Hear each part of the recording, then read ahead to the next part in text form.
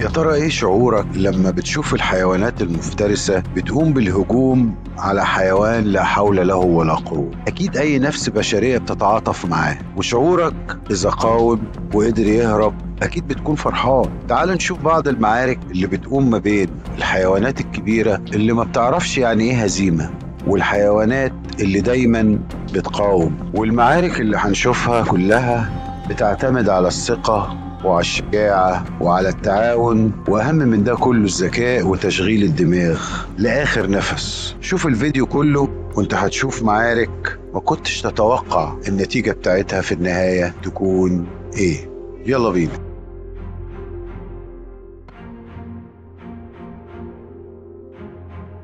مواجهة الأسد والأمل في هزيمته ده أمل بتشتاق ليه أو كل الحيوانات.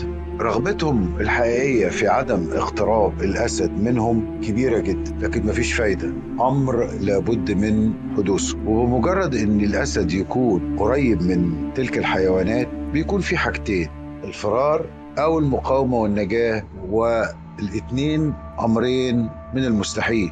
تقريبا قوة الأسد زي ما كلنا عارفين مثيرة للإعجاب ومصدر قوته الرئيسية حجمه وكتلته العضلية وعضته القوية ومخالب حاجات كتيرة قوي كلنا عارفينها. الفيديو اللي قدامنا اللي إحنا شايفينه الجاموس الأفريقي أخطر حيوانات في أفريقيا. الجواميس والأسود أعداء إلى النهاية.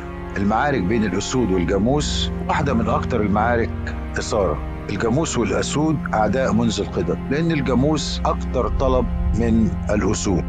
الأسود دايما بتحب تصطاده لأنه وليمة كبيرة وناس كتير بتاكل.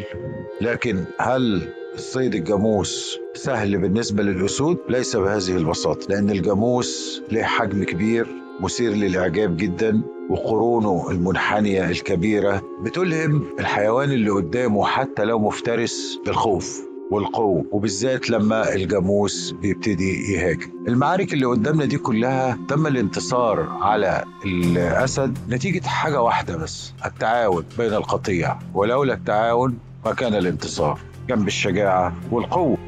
ويستمر هذا الصراع إلى ما لا نهاية حتى مع الفهد اللي أنتوا شايفينه وشايفين جموع الجاموس بتعمل فيه. إيه الفيديو اللي بعد كده بقى ده أخونا التمساح قدر إن هو يمسك جاموسة وهي بتشرب من القطيع شدوه وطلعوه بره. واتفرجوا بقى بتركيز اتعمل فيه إيه؟ اتقطع. أدينا شايفين في الصورة وهو بيتشال لفوق وبينزل لتحت دون أي مقاومة. لازم نكون عارفين يا جماعة أن الجاموس الوحشي قوة خارقة لا يستهان بيها.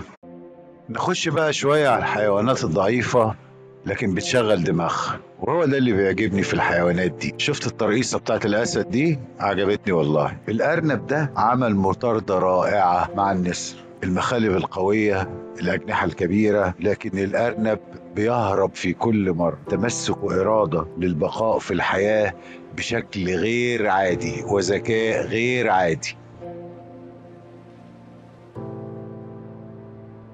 الفيديو اللي قدامنا ده الفهد قرر إنه يصطاد غزالة.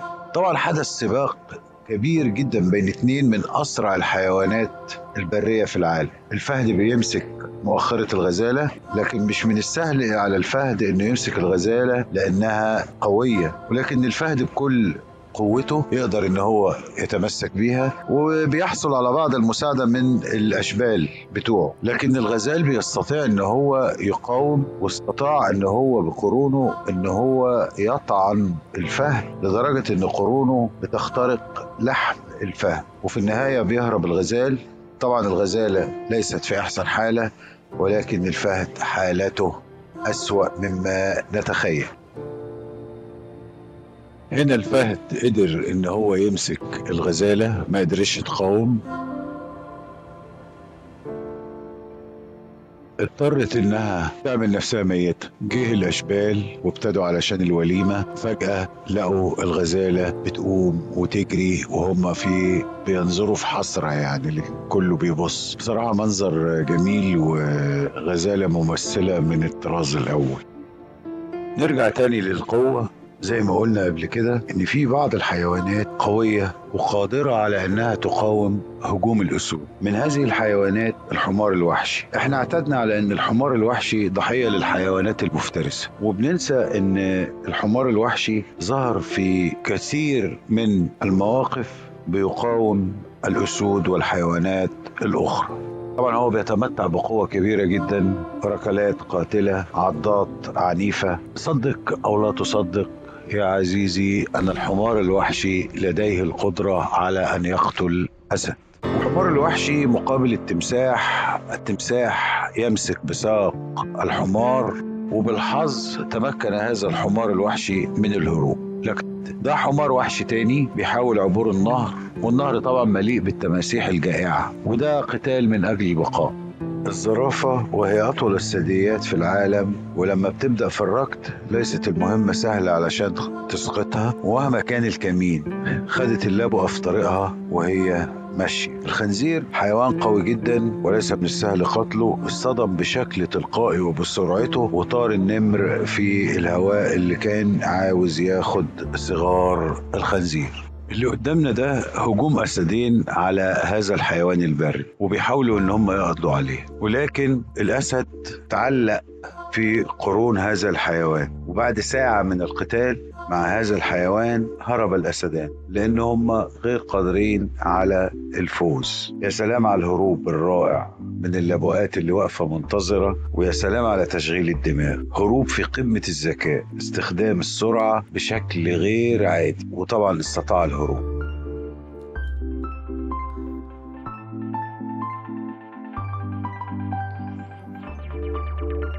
هذا الحيوان البري يقاوم ثلاث أو أربع فهود. قمة الشجاعة. والمشكلة إنه واقف في وسط القطيع والكل واقف يتفرج. لكن استطاع إن هو يقاوم ويدافع عن نفسه. وبعدين لما انضم للقطيع الدنيا هديت شوية خلاصة الكلام إن المعارك بالنسبة للحيوانات للشجاعة دماغ شغالة تقدر تنتصر على أي حد. مع طبعا التعاون. إحنا شفنا معارك كتير النهاردة كلها لولا التعاون ما بين القطيع ما كانش هيقدر يبقى فيه أي مقاومة. على كل كل هذه المعارك تحدث كل ساعة في الحياة البرية. أتمنى إن إحنا ناخد عظة من الموضوع ده. إن لازم يبقى عندنا إرادة لازم يبقى في تصميم لازم نبقى شجعان شوية لازم يبقى عندنا ثقة في نفسنا. هنقدر نعمل أي حاجة والله. زي الحيوانات الغلبانة دي ممكن بتعمل أي حاجة هي عايزاها. المهم إن إحنا يبقى عندنا إرادة وتصميم. يا رب يكون الفيديو عجبكم وأشكركم على حسن الاستماع. يا ريت ما تنسوش تشتركوا في القناة والى ان ألقاكم في الفيديو القادم. لكم تحياتي.